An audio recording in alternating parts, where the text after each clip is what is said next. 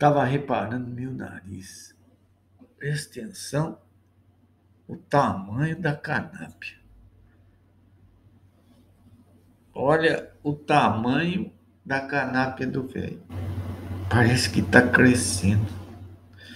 As orelhas também, mas não está tanto. Mas o nariz, dizem, eu vi uma pesquisa médica que diz que o nariz e a orelha não param de crescer. Velho, então meu destino é virar um tucano, né? Olha, meu destino é virar um tucano.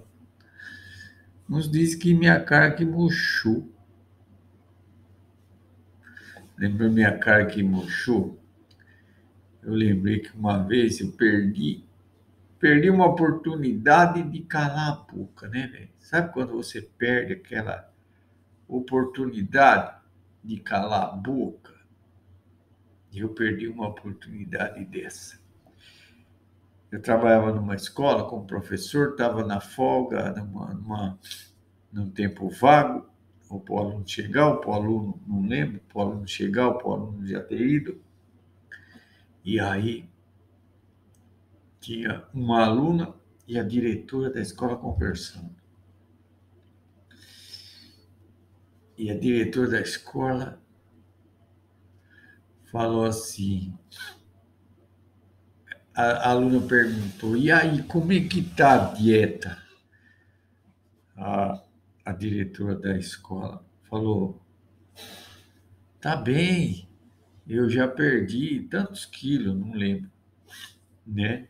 Não lembro quantos quilos ela falou, mas aí o idiota aqui chega no meio da conversa, sem, sem ter sido chamado, e fala: é realmente eu percebi que você deu uma emagrecida, seu nariz está maior, né?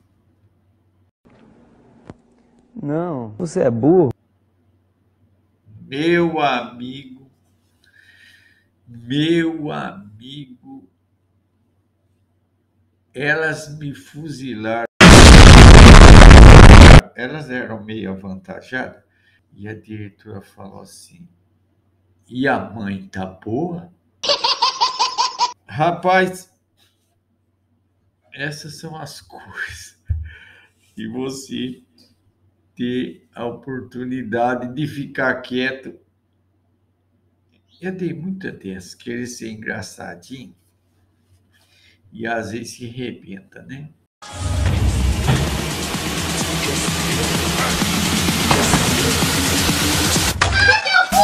Comigo aconteceu muitas vezes. Mas eu lembro uma vez, eu tinha um amigo, tem ainda, não tenho visto muito, mas está por aí, graças a Deus. E ele é violeiro também. E ele bebe, não é o besta, é o outro. E ele toma umas cachaçinhas bravas. E uma vez nós fomos tocar no sítio de um amigo meu, me convidou e eu levei ele. E ele levou a esposa, levou a esposa junto. E ele está tocando, tocando lá uma música lá, e a mulherzinha dele sentada, sentada ali no cantinho, e ela falou assim: Esse meu marido bebe. Olhando para ele que estava cantando, o marido dela. Esse meu marido bebe. Aí ela balançou. Ah, o outro bebia também. O único problema desse é que esse aí ele é muito provocativo. Ele provoca os meninos. Coisa que a viola me levou a conhecer. Como o barzinho do Berto, onde a gente onde a gente fazia a violeirada, violada quase todo sábado a gente estava lá. E o Berto era uma pessoa muito engraçada. E ele, a gente ia lá falar assim, dava umas oito, nove horas da noite, né? A gente casado, precisando para casa, filho para criar. Falei, Roberto, vê quanto foi o mil. Ele virava para nós e falava, tá cedo ainda. E virava as costas. Roberto, eu preciso ir embora, já está na hora, mulher vai ficar brava. Ele fala, que hora que era para você ter chegado? Já estou atrasado. Falei para a mulher que seis e meia eu estava em casa. Já são nove e meia. Aí ele falava assim, a bronca é a mesma. Fica aí e não enche o saco. Tô me sentindo adorável. Roberto. Roberto era essa pessoa, essa figura muito muito enigmática, muito bem querida por nós e fazia cedia o espaço para nós fazer essas palhaçadinhas, né? E tocar viola, dar risada. E às vezes acontecia o violeiro passar da hora, tinha umas mulherzinhas bravas, hein? Eu vi algumas vezes, mulher na porta do bar. Ô seu sem vergonha. o violeiro lá tocando, dando risada. Parecia baixinha, né? Geralmente são as baixinhas que fazem isso. Ah, tá na porta do bar, lá o bar lotado. E ela, a baixinha. Ô sem vergonha! O cara já olhava, já vermelhava. Todo mundo já queria saber, né? Quem sabia, quem conhecia, conhecia. E quem não conhecia, ficava conhecendo. Vai para casa, não? Seus filhos estão tá lá te esperando, viu? E o cara já ia levantando, cabeça abaixo. Falei, fudeu. O cara levantava, trançando já minhas pernas. Bebeu, né? Se bebeu, né? Sem vergonha. Dinheiro para pôr as coisas em casa não tem. É para beber, tem. Esse sobrava para nós. Esse bando de sem vergonha aí devia estar em casa já. Já para casa. Já para casa, senão você não vai entrar mais. Saía batendo. E o rapaz ficava vermelho, cara. Desculpa aí, gente. Desculpa aí, desculpa aí, Berto. Mas eu ir, né? Vai. Vai, porque a coisa ficou preta. Era muito engraçada. Essas mulheres bravas, né? E uma vez, eu tocava numa cidade aqui próximo, num grupo. Então, nós fazia todo domingo de manhã, nós fazia o treinamento do grupo, juntava tudo a, viola, a violeirada, ensaiava e tal, num salão lá da, da, da cidade, ensaiava. E aí, depois do ensaio, tinha um barzinho que fazia um costelão no bafo.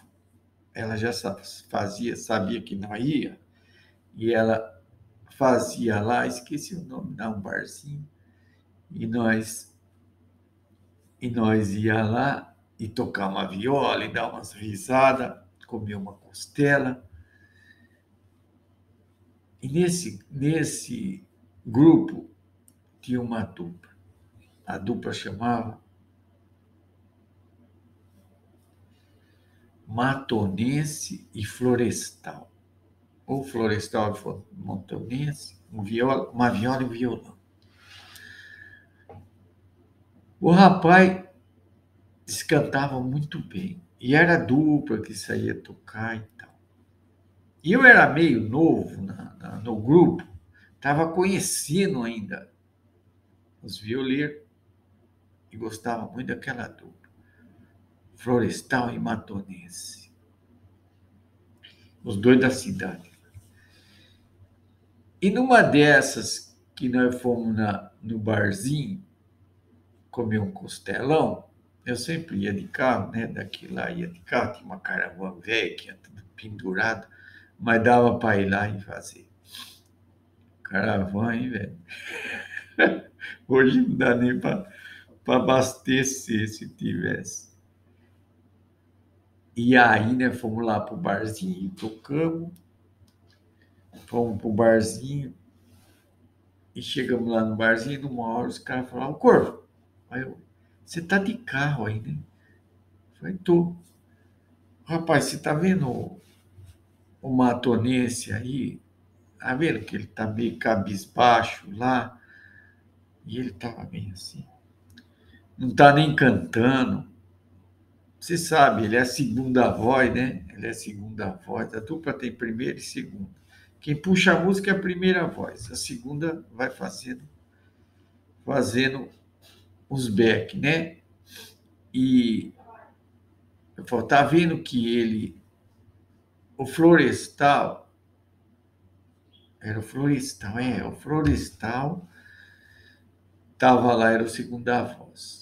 O matonense não veio, e você tá vendo o florestal lá, tá mesmo, mesmo cabisbaixo, tá nem cantando, nem tirou a viola do saco, verdade, a viola dele estava no saco, ele tocava a viola muito bem. Ele estava meio assim, tomando uma.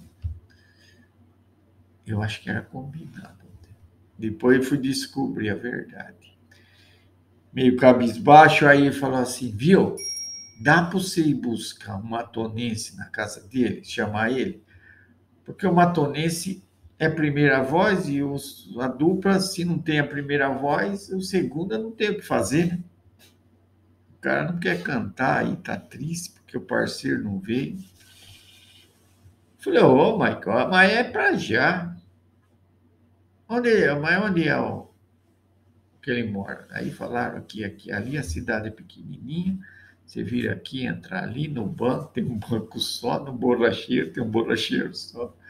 O mercado só tem um, então você entra aqui, entra ali, entra ali. Tá bom, vou lá. Isso aí não sabia que era pegadinha. Saí, fui lá, encontrei a casa do homem e bati palma. Era uma rua sem saída, assim. Encostei o carro, desci de chapéu e tal, bati palma na casa dele. Bati uma vez, bati a segunda, Saiu uma mulherzinha assim, pôs a cara assim para fora da porta e olhou lá fora. Olhou e já voltou gritando. Você não vai, hein? Você não vai, já tem os vagabundos aí chamando você. Você não vai me sair de casa. Eu quebro seu violão. Eu repito seu violão se você sair aqui de casa. Os vagabundos não têm o que fazer? Vem chamar pai de família pai ir para bagunça. Pai para bagunça encher a cara de. Você não vai me sair aqui de casa. Aí veio o rapaz, tudo cabisbaixo, falou: curvo. Você tá louco? O que você veio fazer aqui, rapaz? Pelo amor de Deus! Aí eu entendi a pegadinha. Foi, rapaz, desculpa, rapaz, os caras mandaram eu vir aqui. Não, corvo, pelo amor de Deus! E a mulher gritando lá. Vagabundo! Vai procurar o que fazer! Seu vagabundo, chamar os pais de família para beber cachaça do vagabundo! E eu tomando o nome de vagabundo, entrei no carro, fui embora, voltei para o barzinho. Quando eu estou encostando a caravana, todos os violeiros na porta do bar, olhando para mim, e eu desci do carro. Eles falam, e aí, velho? Trouxe ele, corpo? Trolhei! E davam risada, vai. Trouxe ele. E o, e o Florestal também dando risada. Aí que eu vou entender a pegadinha. Eu caí no bait, eu caí na pegadinha, cara. Os caras, como eu era novo na cidade, prontaram para mim e eu caí na unha da baixinha. da baixinha do meu amigo. Mas esse negócio de, de viola, quando nós tinha que levar alguém para casa, quando nós tinha que levar alguém para casa, o cara estava muito bêbado, a mulher ia pegar nós, já era 11 horas da noite, nós com o violeiro bêbado no carro. Eu falei, o que, que nós vai fazer agora? Vamos fazer o seguinte, vamos encostar ele no portão da casa e nós bate palma, nós bate palma e deixa o carro lá na, na esquina e bate palma e corre na esquina e fica esperando a mulher vir pegar ele. E nós fazia isso, e fizemos isso algumas vezes, cara, algumas vezes, quando sabia que a mulher era brava, encostava o carro meio distante, levava ele, encostava ele a viola no portão do, do, portão dele e batia a palma bem forte, pá, pá, pá, pá, pá, pá, pá, pá, e corria de volta lá. Daqui a pouco saía. A mulher xinga, vagabundo, sem vergonha, é vergonha. Cadê aquele procurando nós, né? Nós sabia se a mulher pegava a trouxa e ó, corria. Coisas da viola. Vagabundo! Não tem que fazer, escambada de bêbado, vagabundo!